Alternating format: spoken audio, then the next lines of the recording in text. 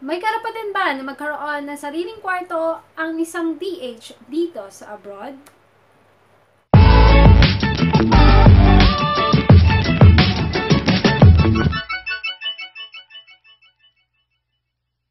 Mga loves, for today's video, gusto kong pag-usapan natin ang tungkol sa karapatan. Karapatan ng isang DH or helper or kasambahay. Yan. So, ang kasambahay dito sa Middle East or Asia, kung saan man bansa kayo naroon, ang tanong, karapatan ba ng isang kasambahay na magkaroon ng sariling kwarto? Gusto ko na i-share sa iba, sa mga baguhan na papunta kung saan man papunta sa Asia or sa Middle East. Ayan, kung ikaw po isang kasambahay na katulad ko, tayo po ay entitled. Ayan, nasa kontrata po yan sa atin sa Pilipinas na pinipirmahan mo, pinirmahan ko, ayan. So, nakalagay po yan sa kontrata natin na tayo ay may karapatan na magkaroon ng privacy na tinatawag, magkaroon ng sariling kwarto. Ayan, number one nating privacy ang magkaroon tayo ng sariling kwarto. Bakit? Kasi pag time na oras, pag time na oras, ayan, So, pag oras ng pahinga natin is makakapagpahinga tayo. ba? Kasi katulad ng amo natin, tao din tayo. So, kailangan din natin ng privacy. Ayan. So, make sure na kapag nag-a-apply kayo or nasa interview kayo, papunta pa lang kayo sa bansang pagtatrabahuan niyo is kung meron chance na makakausap mo yung employer mo, wag na wag mong kakalimutan itanong kung may sarili ka bang kwarto. Ayan. Kasi based sa aking experience, bago ako napunta dito, nakausap ko yung employer ko, ang number one kong tanong, kung meron ba akong sariling kwarto. Kasi kung hindi, at least habang maaga pa, malalaman mo kung meron o wala. Kasi ako, kung sa case ko, wala akong sariling kwarto, hindi ako tutuloy. Ayan, syempre, di ba? Yan ang pinaka-importante. Especially sa East ka mapupunta, kailangan meron kang security. Ayan, privacy. Ayan, kasi yun lang yung time na kapag ka oras na ng pahinga, tapos na yung trabaho mo, dun lang yung time na magkakaroon ka ng privacy, security para sa sarili mo, makakausap mo yung family mo, at hindi ka nila i-istorbohin. And make sure yung kwarto is nakapadlock. Ayan, may lock. Ayan, so pwede kang magpadlock kapag ka oras na ng pahinga. Kasi oras na ng pahinga, tapos ng trabaho, hindi ka na dapat nagpapa-istorbo. Ganon. So, tayo ay tao lang din, kaparehas sila, kailangan natin ng pahinga. So, dapat alamin natin, mga kapwa kong kasabahay, dapat alam natin ang ating mga karapatan.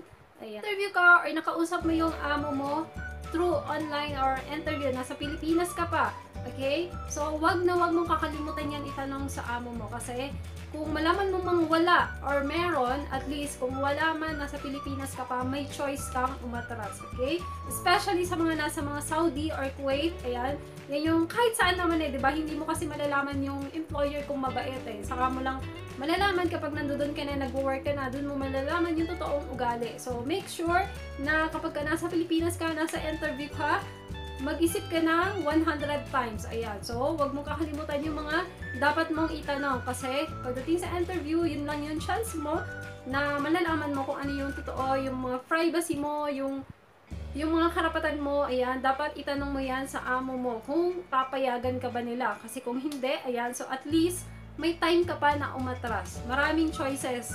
Huwag niyong isugal yung sarili niyo kasi especially kailangan malaman mo kasi kung hindi, pagdating dito, hindi mo alam kung ano yung dadatnan mo. At least, kung umuo man, kung umuo man, tapos iba man yung madatnan mo, at least meron kang reason mag-back out. Pwede kang magpabalik sa agency mo, alright? So, at least yung nagkakaliwanagan. Lahat itanong mo, maglista ka, habang kausap mo, interview mo yung nasa interview ka, kausap mo yung employer mo, lahat itanong mo na. Okay? Walang masama doon. Magtanong ka habang kausap mo yung employer mo, ine-interview ka. Walang masama doon. Okay? And so, yon Gusto ko lang i-share sa inyo, i-room tour ko kayo sa aking maliit na kwarto. Ayan. So, gusto ko ma-inspire and gusto ko ma-inspire yung mga kasambahay. Ayan. So, yung mga nag apply pa lang papunta kung sa amang bansa kayo papunta, uh, especially dito sa Wag na wag niyong kakalimutan magtanong. Walang masamang magtanong, okay? Walang wag mahiyang magtanong, 'di ba? 'Di ba sa right med. So, yeah. Gusto ko na i-room tour kayo guys sa aking maliit na kwarto na at least meron akong safety, meron akong privacy, kahit maliit lang, at least safe ako. 'Di ba? Meron akong privacy kapag ka free time ko. So, So yun guys, ito, room tour ko kayo. Ito yung aking mini room. Ayan. So, ito yung aking luggage. Ayan ang aking power bank. And andito ang aking mga stuffs, mga suklay. Ayan, pinaka mini table. And actually, ito yung heater ko. Ginagamit ko kapag ka, ano, kapag ka winter. Ayan, di kuryente. Ayan ang aking upuan. Kahit pa paano, meron akong maliit na upuan. Ang aking, ayan, may tissue. Ayan, ang aking mga pang coloretes. Ayan, meron akong bintana dito. Actually, yung bintana na to is yan, sa baba yan. Ma, parang, ang baba kasi niyan is parking lot. So, okay naman yan. Safe naman yan kasi may padlock. Ay, may lock. And, ang aking, ayan, meron akong maliit na mga divider dyan para sa aking mga stuff. Ayan. So, yan. Itong aking bed. Actually, may kwento yung bed na to eh. Sabi ng alaga ko, kwento ng alaga ko, Ayan, bago daw to eh. Bagong bili. Simula nung in-interview daw ako ng amo ko, nagtanong daw ako kung may sarili daw ba akong kwarto. So, after ng interview ko, bumili daw yung amo ko ng, ayan, ito, aking higaan kasi walang ang higaan. Actually, etong kwarto na to guys is, ano, parang stock room nila. So, yan, ginawa nilang room para sa akin. Ito yung aking cabinet, bagong bili din yan. Ayan, para sa aking mga damit. Ayan. Diyan ang aking mga damit. So, ayan lang. Single bed lang siya. Ayan. Tapos ang aking tripod. Andyan. Diyan ako nag-film, guys. Ang ginagamit ko is natural lighting nila. Ayan ang aking salamin. Ang aking ilaw. Ayan.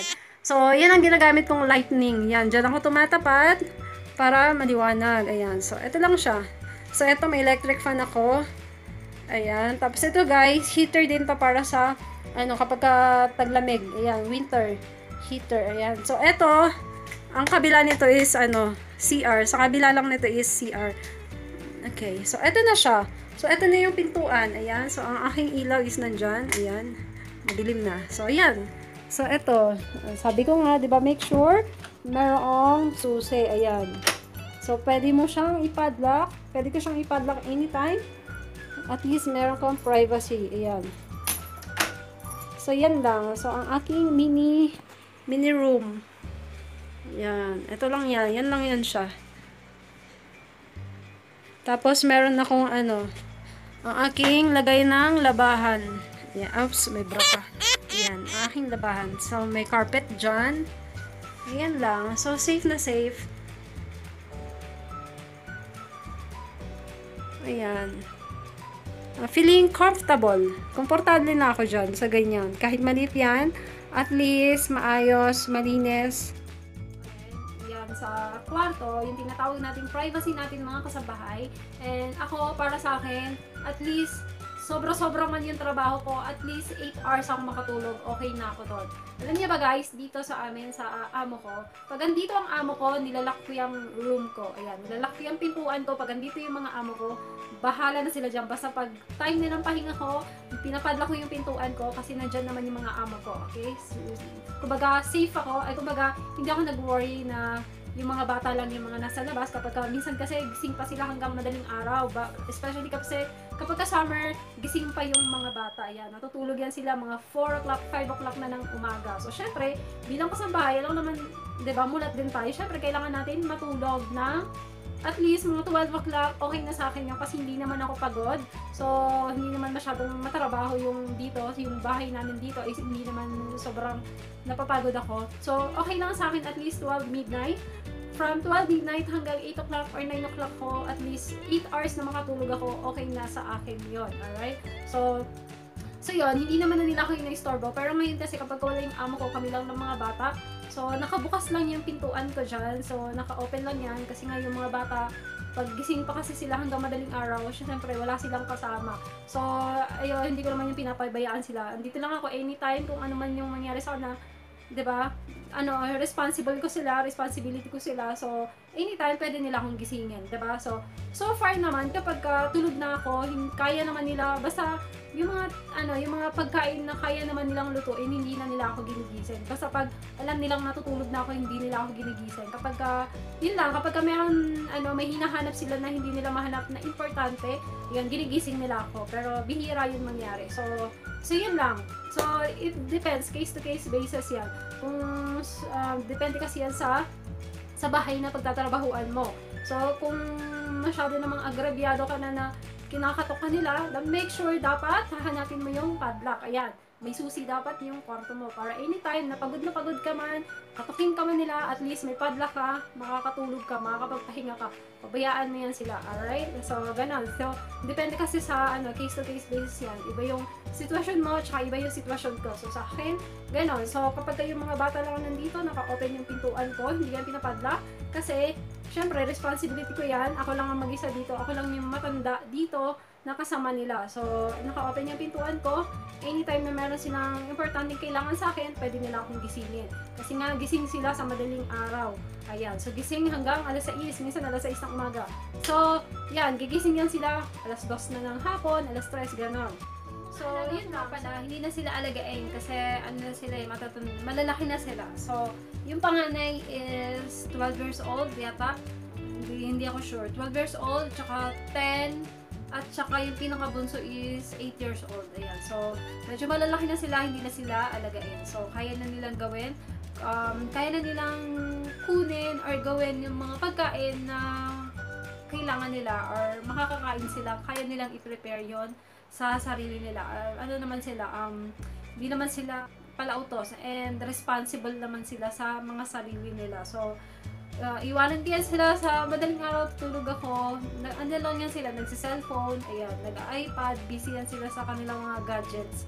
So, naglalaro lang yan sila and so yun. So, syempre, bago ako matulog, kakain mo na yan sila. Pe-prepare ako ng pagkain nila and syempre, ipe-prepare ko, ilalabas ko na yung mga snacks nila para hindi na sila maghahanap pa sa kusina. Ayan.